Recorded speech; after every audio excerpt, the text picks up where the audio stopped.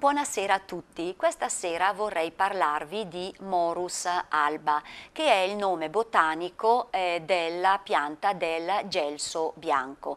Il gelso bianco, e in particolare il gelso bianco eh, giapponese, è un grande albero molto longevo perché eh, cresce praticamente e eh, resiste fino a 150 anni di vita.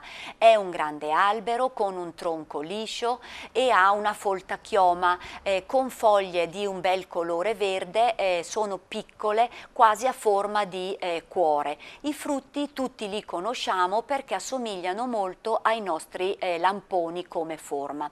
Il gelso bianco è originario dalla Cina e dal Giappone e venne importato in Europa nel XV secolo con lo scopo della, ehm, diciamo, utilizzato per le foglie utilizzate per i bacchi da seta seta per mantenere i bacchi da seta proprio per le filature e eh, ultimamente è proprio andato in disuso perché viene utilizzato semplicemente come ornamento in parchi e eh, giardini.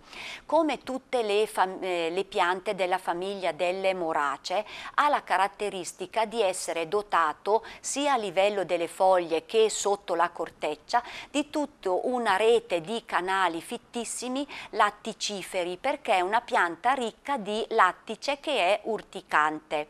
Ma a noi cosa interessa? Dal punto di vista fitoterapico la grande scoperta del gelso bianco è l'essiccatura della radice, l'estratto secco molto ricco di principi attivi in grado di abbassare gli zuccheri a livello del nostro circolo sanguigno. Quindi molto importante come pianta nella terapia come coadiuvante, nella terapia del eh, diabete o ancora nell'utilizzo nelle diete ipocaloriche.